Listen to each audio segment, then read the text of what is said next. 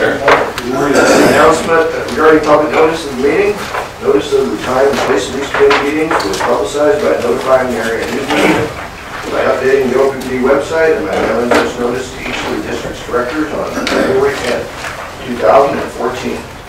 Additionally, a copy of the open meetings law and copies of the agendas for today's meetings are available for inspection. We're going to begin today with the finance subcommittee report, and Director Lyons is in for Director Kavanaugh. Nick? Good morning. Um, We have the coffee off, or, Sorry. uh, I don't have the agenda in front of me, so I'll just start with the authorization of earnings rates that we use at the Fort Calhoun Station decommissioning funding analysis. The, uh, the NRC requires the district to maintain an external trust fund for future decommissioning of the plant. The uh, district is, has been funding this trust since 1983 based on NRC defined cost formulas. The district updates the decommissioning funding analysis annually uh, with forecasted rates from the IHS Global Insight for decommissioning cost inflation and decommissioning fund earnings. The IHS earnings rates are based on a five-year treasury note. Uh, The earnings are adjusted for the decommissioning fund analysis to reflect a higher yield of the district's actual decommissioning fund as compared to the five-year treasury notes. The difference between the decommissioning funding earning rates and the decommissioning cost inflation rates is the real rate of return. Uh, Used in in our decommissioning funding analysis was greater than 2% in most years. Uh, Consequently, the NRC regulations require that we obtain board approval for the real rate of return, which is greater than 2%. Uh, Previously, when the real rate of return was greater than 2%, the proposed decommissioning funds rate earning rates were included with corporate earning plans uh, as approved by part of the COP. The uh, NRC's questioned the earning rates. Uh, They questioned the earning rates used by the district within the past two years, prompting a review of the pertinent NRC regulations. Upon completing this review, it was decided that a separate authorization of earnings would be more appropriate than included, including it in the COP. Therefore, we've got resolution uh, 5983 that affirms the district may use earning rates shown in Exhibit A for 2014 in the decommissioning funding analysis. Now, having said all that, Edward, do you have to add anything? Yeah, I think that was well said. Well written. I think the, the summary of this is, we, we've already, we've always done this analysis, we've always reported anytime that a differential, the real earnings rate is greater than two percent. In the past, that reporting occurred in our corporate operating plan documentation, that you receive and approve in December each year. Upon further review and questioning with the NRC, became apparent to us that this is a better process to have this item come back before you separately approve it. It's a better uh, approval documentation, if you will. So this is nothing new other than the form in which it's requested for approval. Isn't this a, uh, kind of a desire to have more transparency in case somebody is trying to use these higher rates of returns to lessen their contributions? Yeah, I think, I think that's the intent Wouldn't of that the be the- RC, yeah. And, and so, to that, you know, to that point, you can see that we're not creating the rate of return based on our projections, or- nor are we uh, using decommissioning inflation rates. We're using an independent source to tell us their, their view of the picture. They just want transparency. And what is our uh, contribution rate for this year?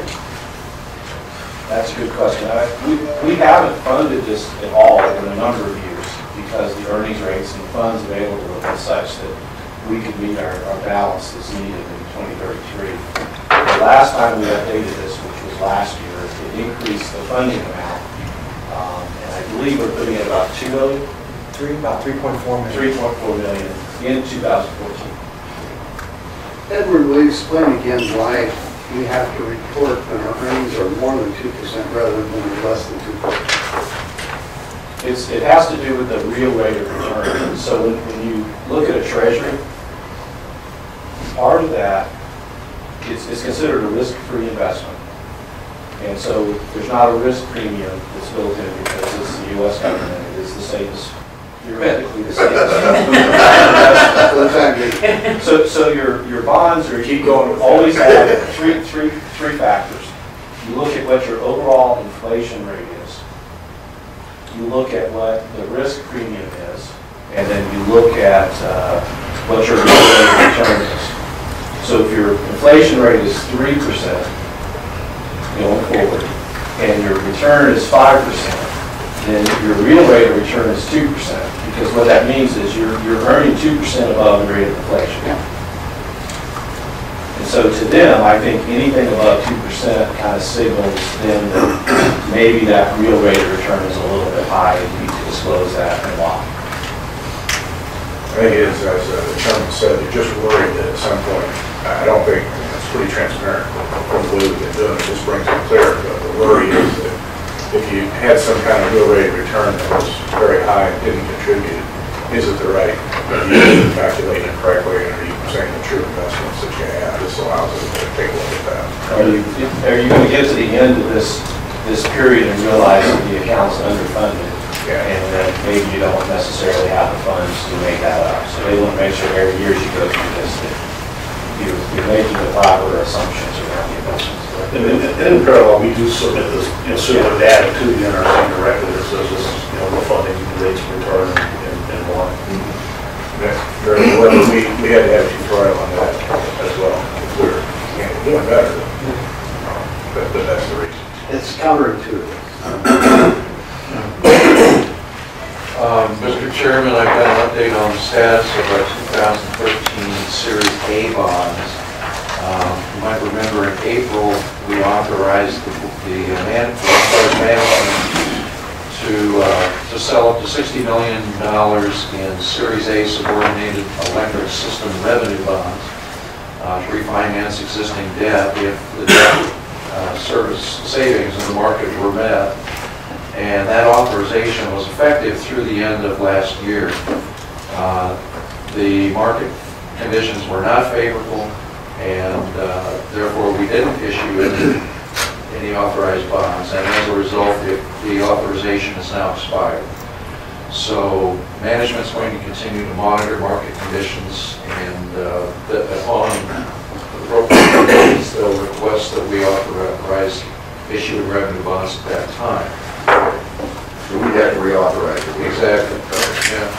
And then finally, we've got pledged securities. Uh, The state requires that uh, OPPD and financial institutions that hold our funds provide security protection or pledged securities balance which exceeds the FDIC coverage, which is $250,000 effective January 1st. Pledged security amounts are determined by cash balances at each bank, uh, which exceed FDIC insurance limits of that $250,000. As of January 1st this year, projected balances at Wells Fargo Bank and First National Bank are expected to exceed those limits. Uh, And OPPD has made arrangements with both banks to furnish pledged security sufficient to secure any balances which exceed FDIC limits. And unless there are further questions, that concludes my report. Very good, thank you. Move on to the Negro Section Committee and Director McGuire. Uh, yes, as everyone knows, that the NRC has granted, uh, Fort Calhoun Commission to restart the plant, and, the plant hundred percent power, um, Christmas Day, December twenty-fifth, it was a nice Christmas present for everybody. Uh, the plant operated hundred percent power the remaining, uh, December, um, however, on January 9th, if everybody can remember, it was about nineteen below zero. There was a, uh, one of the employees at Fort Calhoun was making his normal rounds at one o'clock in the morning outside, the river, looking down with a flashlight twenty feet down, noticing that there was ice built built up on one of the uh, six gates uh, that you to control water from the Missouri River. Uh, The gate couldn't fully close, so the decision was made to uh, shut down the plant until they could uh, fix that.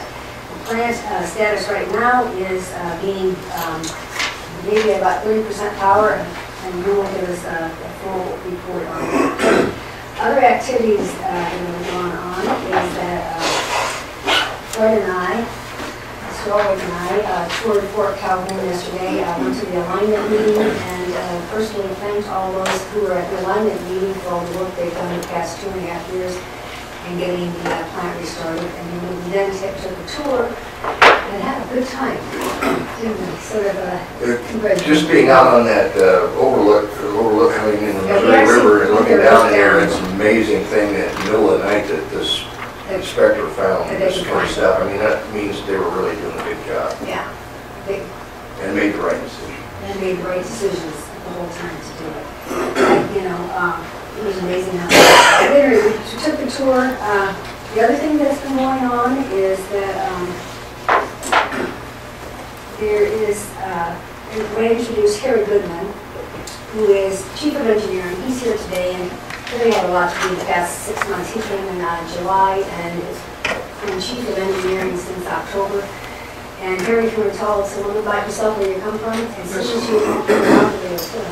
Good morning. I do sound as if I just got off the subway this morning. I am a native New Yorker. Uh, I've been in the nuclear business for 33 years. Um, Bachelor's degree in nuclear engineering from the University of Michigan, an MBA and an electronics degree as well. Uh, I was with Entergy for 25 years and eight years with General Electric before that. I've been through all leadership positions in engineering, all the way up to general manager of major projects. And I really appreciate the opportunity to be part of the Fort Calhoun story going forward. Thank you very much. Welcome. It's interesting, when we were walking around uh, the engineering division, we had more than one person telling us how much they liked Harry's leadership and really appreciate it. So I think he is really making some good progress and uh, helping with leadership in that department. So thank you for coming today, very appreciate it. Thank you. Barry, are you going to be a uh, Michigan rival of, uh, are you going to be for the Michigan football team? Yes, sir. I will say, I the think that's the right answer, by the way. meeting yesterday, Mr. Hanson actually caught him because he was giving a Bo Schembechler. And he said, you're gonna have to switch that. It was pretty fun, it was pretty good. Uh, the next thing, um, that we, uh, this past month is that we, uh, there was a nuclear, uh, safety review board, uh, gave us a report and it was very positive.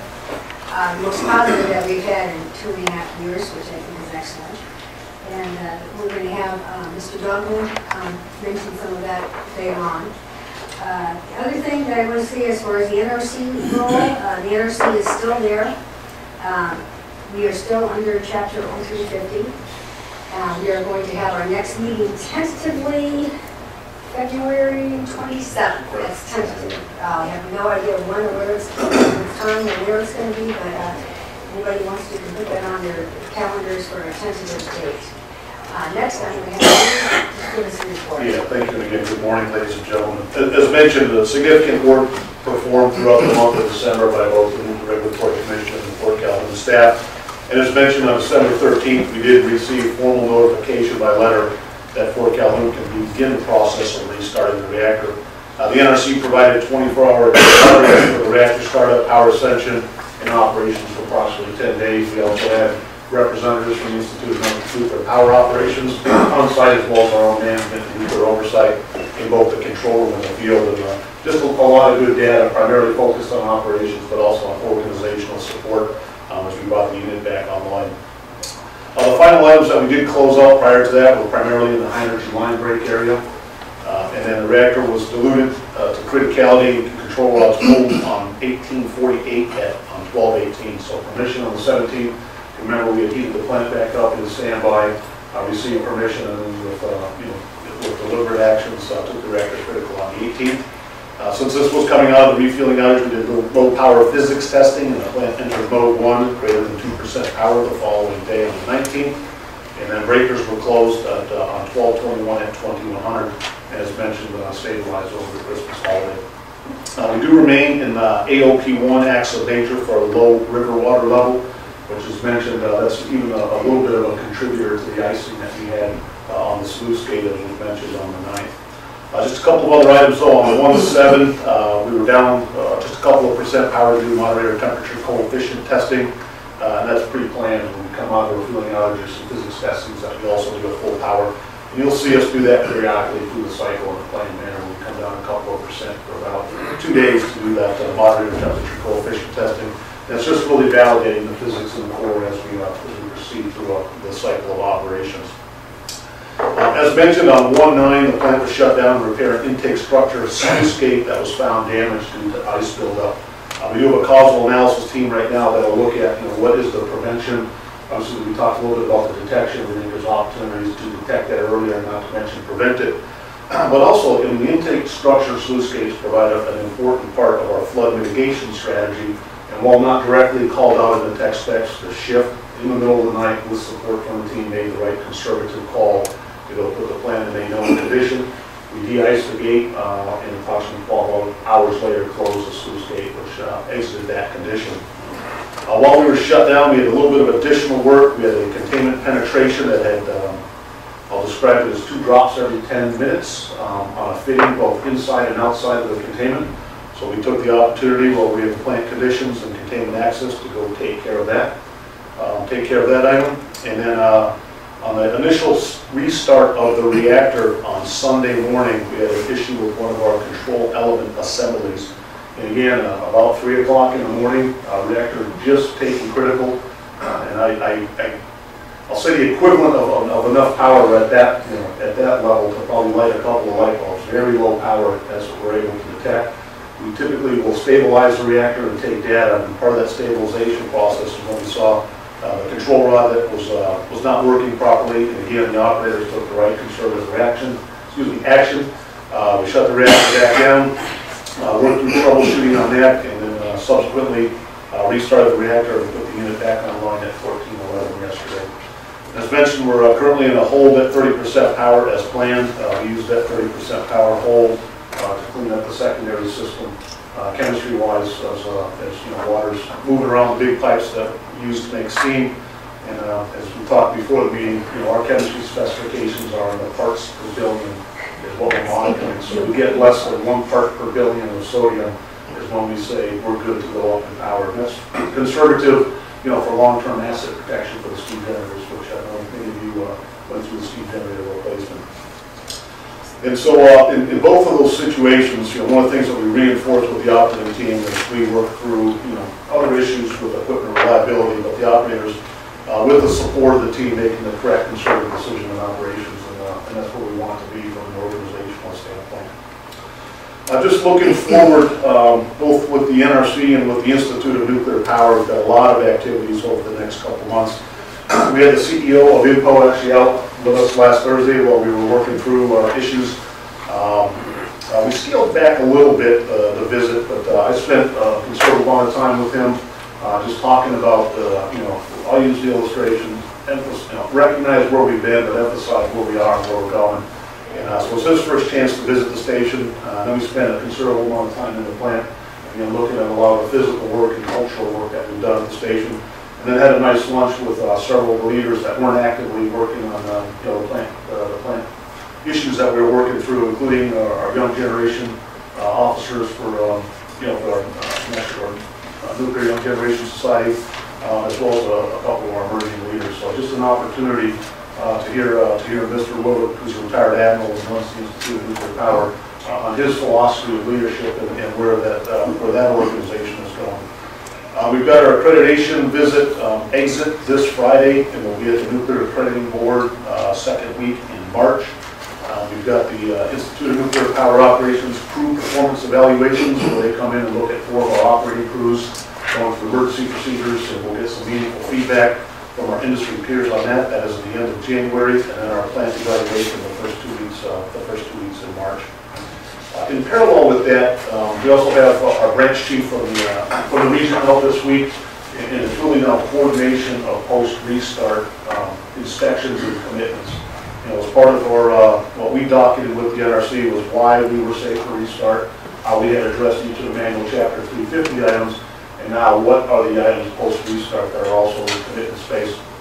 As uh, part of the letter that uh, allowed us to restart, there was a confirmatory action letter that we're under that dockets are, our post-restart commitments. Uh, So we'll begin coordination of what that looks like, including, you know, a series of public meetings that I anticipate 2014. We mentioned one tentatively on February 27th that'll allow us in the NRC to describe what the post-restart scenarios look like for the station. Um, And, uh, you know, we'll we'll maintain um, in manual chapter 350 for a period of time as as we populate the performance indicators that the NRC uses in, uh, I'll say, the normal reactor oversight process. So uh, We'll begin, uh, we've do- done a lot, of, you know, a lot of work with the NRC since uh, start off with this law, and one of our branch chief face-to-face this week, and we anticipate uh, a series of, uh, you know, smaller team, but, you know, inspections that are holding us accountable for, uh, you know, for the post-restart commitments that we've made. And, uh, Pending questions, that, uh, that is my update. What about the emergency? Oh, I'm sorry, yeah, I appreciate it. Also in December, um, we touched a little bit last month, but I'll, I'll just, I'll build on. We did our emergency response organization graded exercise. We do a series of emergency response drills, smaller scale with the states and counties through the year. Um, This is a, a much broader scale, and it involves also, you know, FEMA, which grades the states and the counties and, I mean, a myriad of off-site resources. And so while we provide the, uh, you know, the event for which we uh, exercise the rest of the off-site facilities, um, as well as off-site organizations, you know, part of the scenarios include, you know, mock, um, you know, car accidents that affect evacuation routes, and really gives them an opportunity to exercise the broader aspects of the emergency plan. You know, we provide protective action recommendations to the states.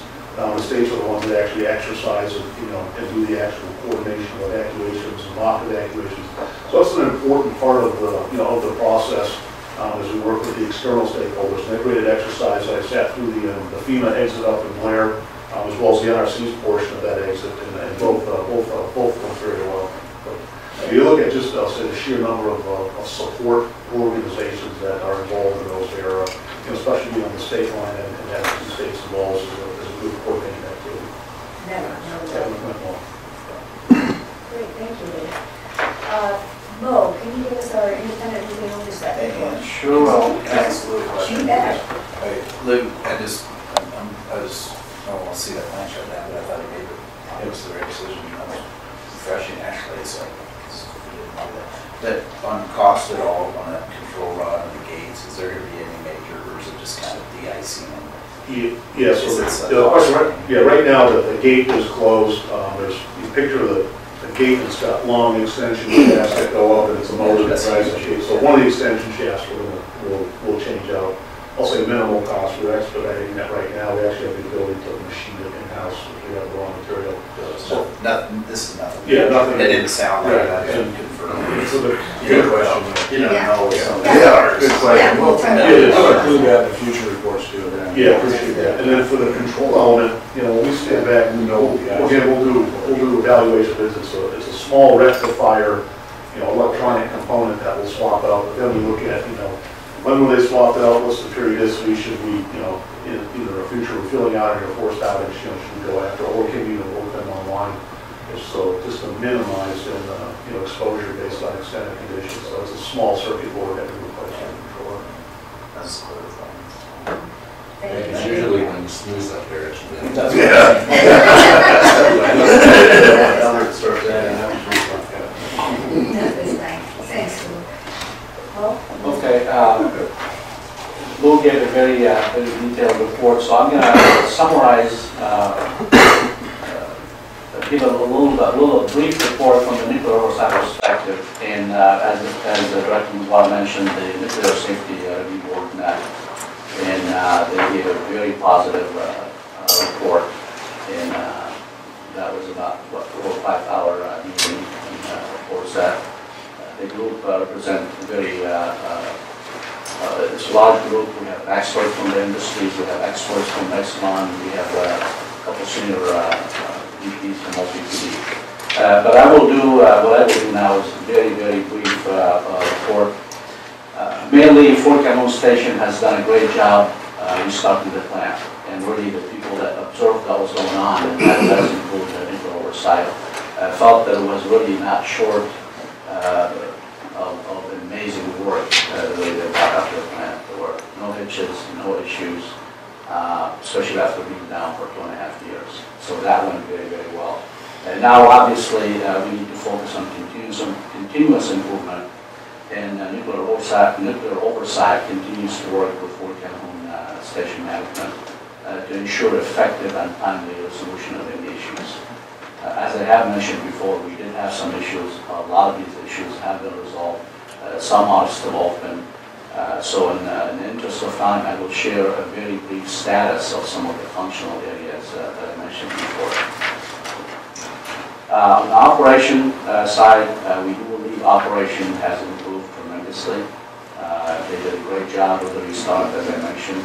You can easily sense the change in behaviors uh, and the ownership and uh, uh, the follow-through, so things are are working well.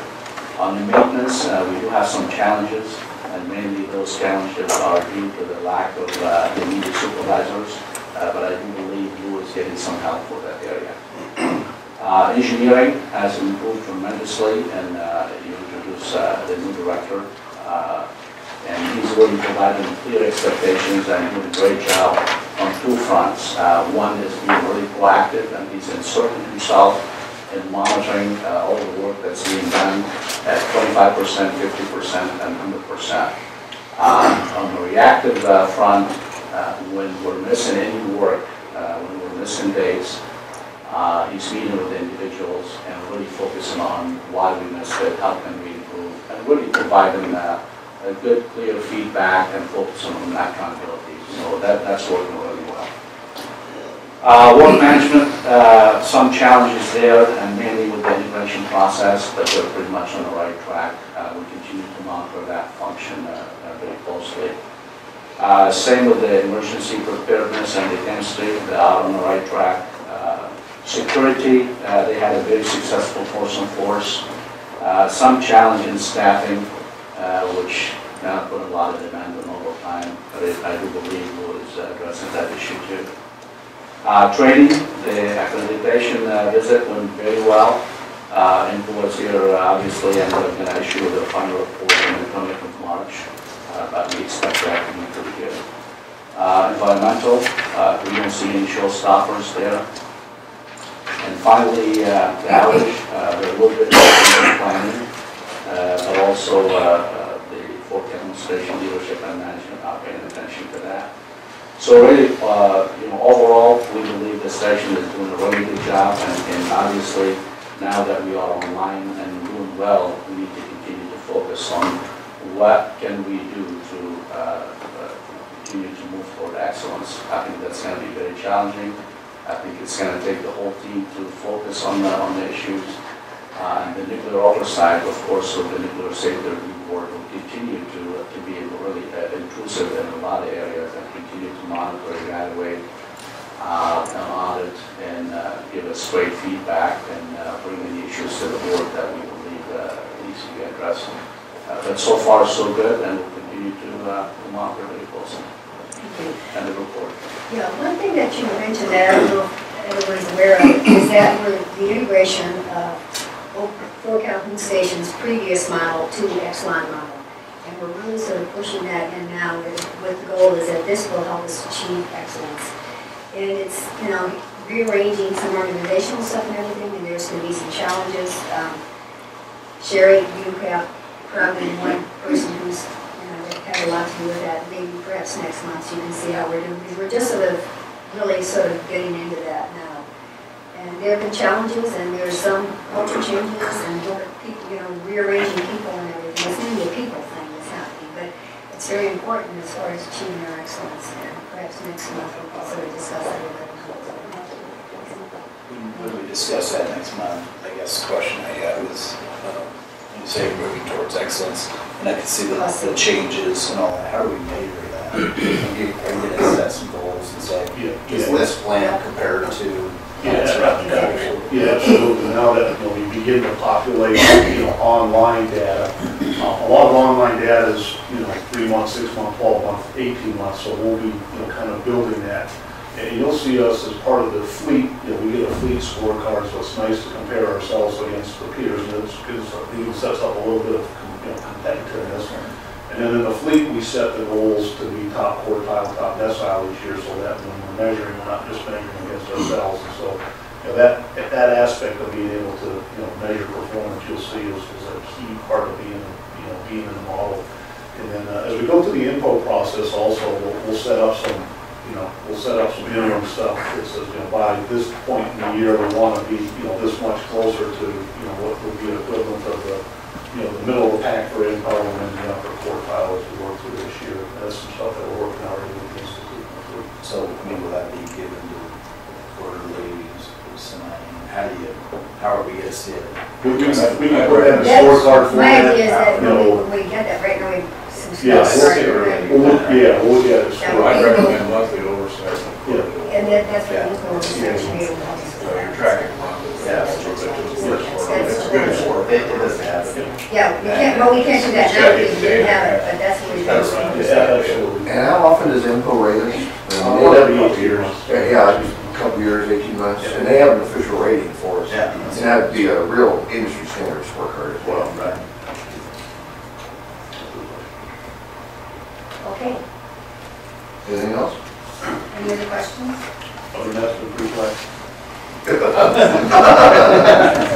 I will say that I was very impressed by the Emergent Leaders Program, Yeah. and I'm encouraged to have some more board involvement with that. Uh, You could just pick them out as you walked around, uh, even without being known what they were. And I think that's a really outstanding uh, way to develop in the future, Mo, uh, as going forward to pursue that excellence. They, uh, uh, they're really, they- you can tell they're, they're really vested more than I've ever known this last tour that I had up there, that they, Yeah. they really taken ownership of this. Yeah, and the last, Uh, I was last, really impressed. yeah, my last tour, there was also another emergent leader, and I think every time you come up, they move, yeah, it's there. Yes, part of their development. Is is that part of the Exelon model too? Yeah, yes. It's also, it's also similar to the model we use broadly in the district, as long as we're filling up board agendas, I recommend that, uh, maybe in March, we give you a, a little briefing on how we do leadership training broadly, we work a hundred plus shares, and the rest of the corporations work. It's, it's pretty, uh, com, pretty, not complex, but pretty complete in developing the emerging leaders, because we've got a lot of new people here, and we've got a lot of talent, and uh, I'm impressed by it, you will be impressed by it, and and the work we're doing to make sure they're getting up to speed and ready to go, and they are. They, they want the ball, uh, they're ready to go. And I would encourage any board members that haven't been up there recently to get up there. Uh, You're not in their way, they really appreciate it. Yeah. It's not like they're annoyed that you're there. They're, they're glad to see you, and uh, it's good for them, and it's good to be exposed to what's going on. They'll tell you they're glad to see it, for sure. They will. Is that all? I think so. Okay, let's move on then uh, to Director Barrett and the Public Information. Uh, Thank you, Chairman. Uh, Yesterday, we had a meeting with the Public Information uh, Group, and uh, we focused primarily on the 103rd legislative session of the Nebraska Unicameral that started last Wednesday on January 8th. Uh, They have 10 meeting days to drop legislative bills, and uh, they're at the halfway point. Uh, Several things that we discussed uh, in the 2013 session uh, are carryover and they're back. Um, One of those is going to be net metering, uh, which is going to be monitored. Uh, Basically, the net metering is going to increase from 25 kilowatts to 125 kilowatts. And when I was talking to Tom, he said uh, 25 kilowatts would be an average home and a shed or a barn. And then 125 kilowatts would be uh, a convenience store or a Walgreens. Uh, So it is a sizable increase in that. Also, uh, there was a discussion on uh, what we call the externalities bill, which is, it would change the, the Power Review Board's application process for, for projects of more than $100 million for 25 megawatts to include health, environment, water issues. Uh, As you know, the uh, district has opposed this bill last year, and it's, it's back, and it may be prioritized by Senator Haar. Uh, And, and Mr. Richards can give uh, a further update on that. Also, there was another bill about uh, membership employees serving on uh, Public Power Board, and also working for uh, uh, uh, Public Power also.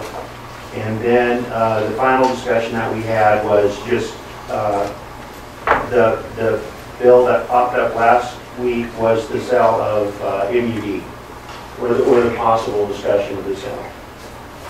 If, uh, on, on the details front, I think, uh, Yeah. Um, I have nothing to add. That's the discussion. Um, I guess just to kind of piggyback on what he said, he's done a good job of detailing talked about. Um, We're reviewing bills. Uh, Right now, there's about 225 of them that have been um, introduced. Um, What happens inside of OPPD is dependent on the content. We send those bills out, bills out for review, so I know finance has gotten some of them, human resources has gotten some of them, engineering's gotten some of them. So they all go out for comment, and then it comes back to me, and uh, I try to put together a uh, recommendation for you all. I don't have recommendations at this point, because we're still in the bill introduction period, uh, and we're still evaluating what, uh, what goes on with the bills and what they do. Um, I guess that tomorrow, or this, this morning, I'll head out of here, and the Nebraska Power Association has a legislative subcommittee, and I'm a member of that committee. We sit every week, usually on Wednesdays, but we're doing it on Tuesday this week, and we review bills as a group. We take a look at all the different bills that have been introduced, try to decide what kind of an impact they have on, on public power. Um, And then yes, or tomorrow, the Board of Directors of the Nebraska Power Association, which is made up of utility executives, will come together and we'll have a report for them as well. So there's, there's a lot of uh, eyes that are on bills and and what they do, what they repeal, how they, how they work, how they get intertwined inside of uh, our business. I guess the only thing that I would add to Director Barrett's comments would be the MUD bill. It's basically, um, it was introduced yesterday. Uh, It eliminates the MUD board on January 1st, 2015. It uh, communicates to its customers that it's terminating. It gives the, while, while it's being terminated, it gives the board the direction to distribute the assets. Um, There's an update with the Urban Affairs Committee that they're supposed to do uh, on how that distribution is going. Um, And it eliminates, a provision in MUD statutes that talk about if it was going to be terminated, how it would be done, it would be done by a vote of people. And eliminates the language in there, the bill eliminates that uh, language in it.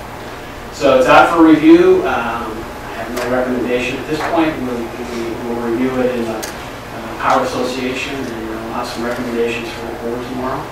But uh, we're in the study phase right now, what I. I don't normally come in January, but I wanted to give you a little update and uh, recommendations for you next month.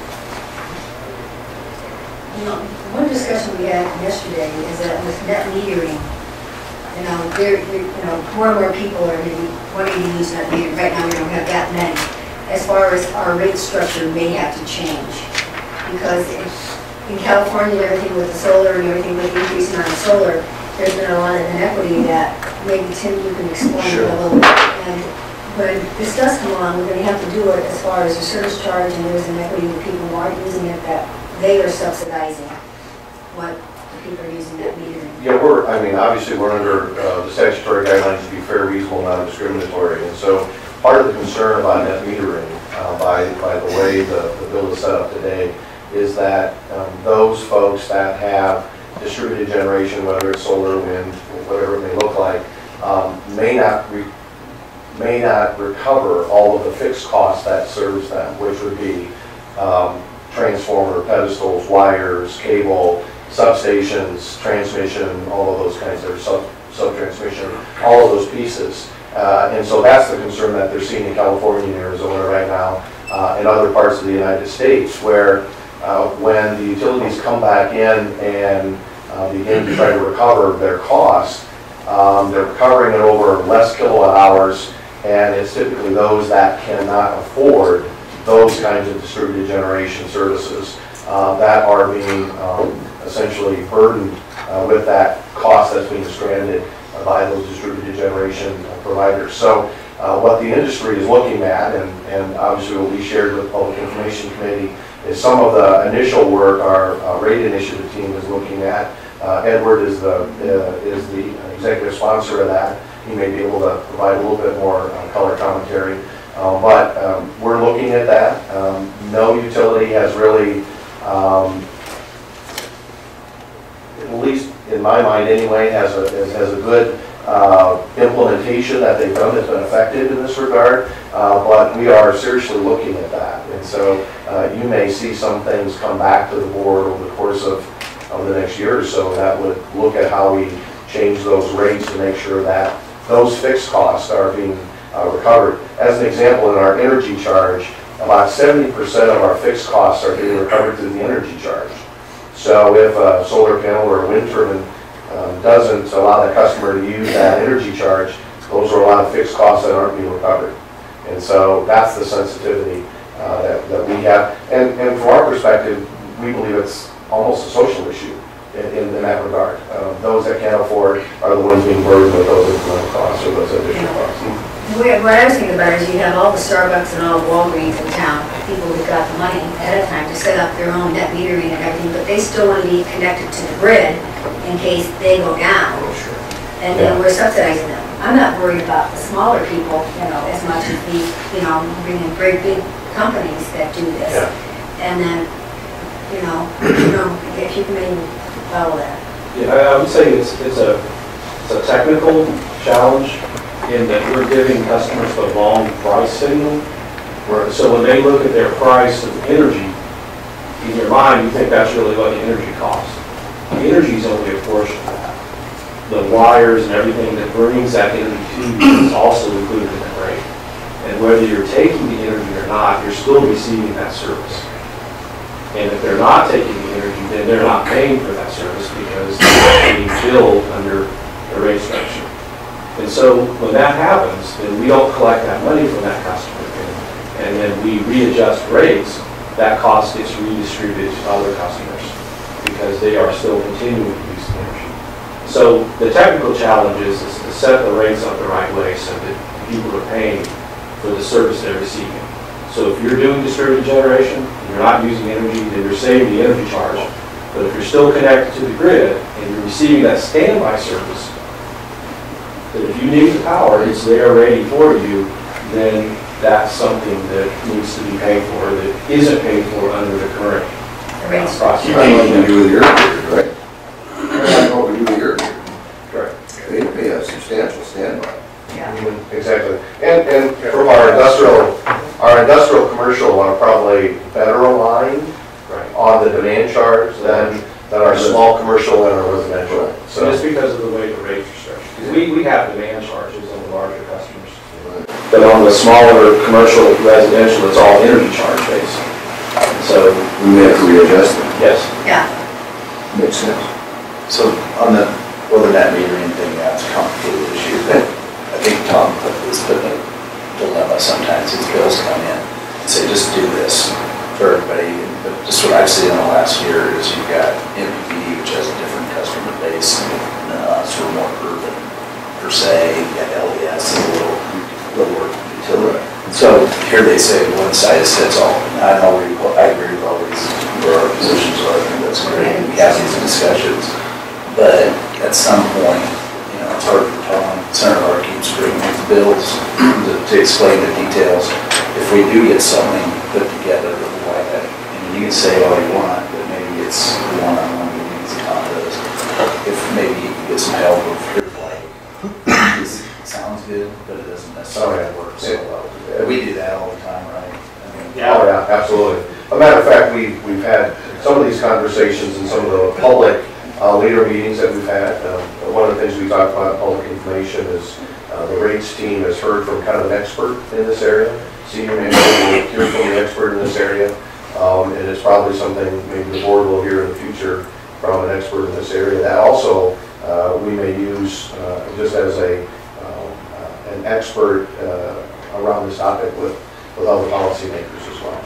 And I, and I normally know who the bills are targeted at. I mean, uh, last year you knew when one was coming your way. Yeah. So, I mean, I have a pretty good idea of what, why, where it's going, why it's being done. Um, And um, I get a lot of support and I appreciate the you made.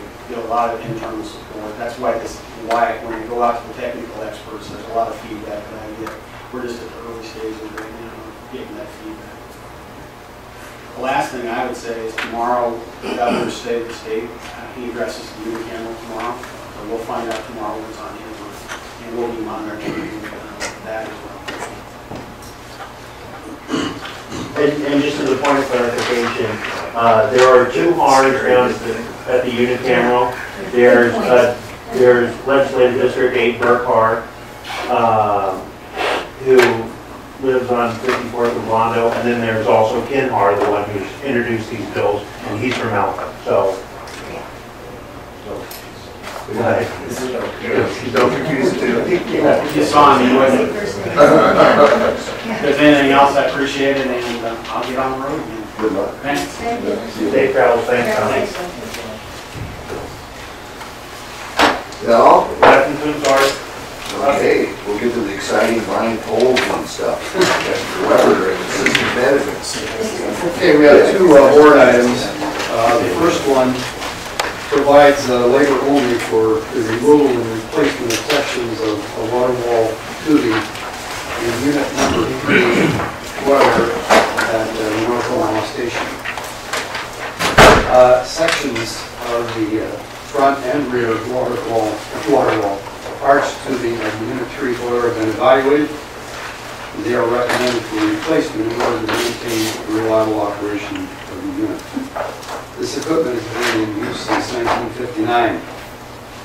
Uh, Installation of materials provided previously by OPPD uh, will occur during a scheduled maintenance outage that will begin on March 1st, 2014. Four bids were received, all of them technically and legally responsive. The engineer's estimate for this work is $1,300,000. This action asks for authorization by this board to award a contract to Urban Industries Incorporated for $1,333,536. Any questions? This would be necessary even if the decision were at some future date to switch from coal to natural gas.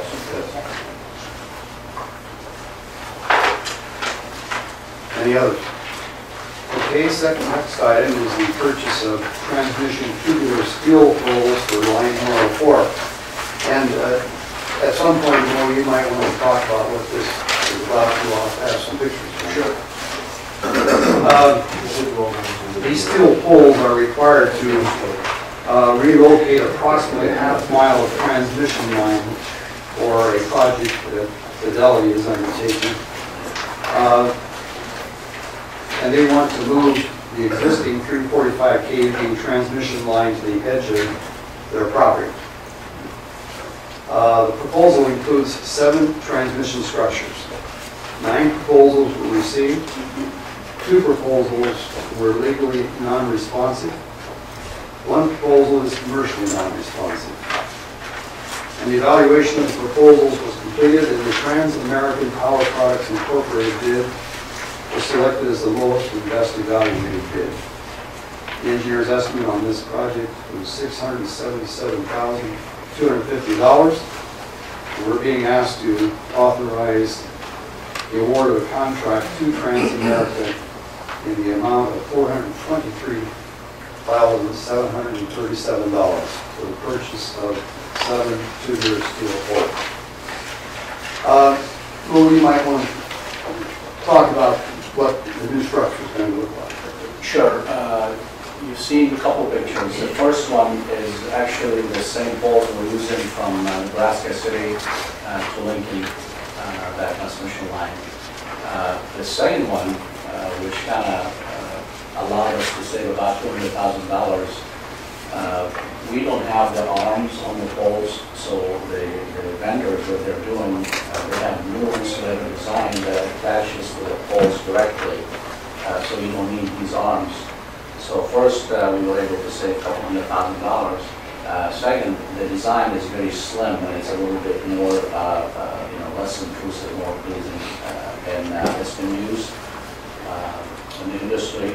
We have used it in the 69 kV uh, system and 161 kV system, but we have not used it on our high, uh, high voltage uh, 245 kV uh, system. This is the first one we're using this. Uh, But it's proven to uh, work pretty well. So a couple things, I guess, we saved money and we also made it look a little bit better. Do you think we'll be using these in the future? Uh, Definitely, definitely. And that's, that's why if you, uh, you know, the engineer's estimate was six hundred and seventy-seven thousand, uh, but uh, uh, we're gonna end up paying about four hundred, so. They're absolutely beautiful. That's, that's what I keep telling my wife, she's not buying. We got an easement. Okay. That's it. Any other, no other business in front of us? This meeting adjourned.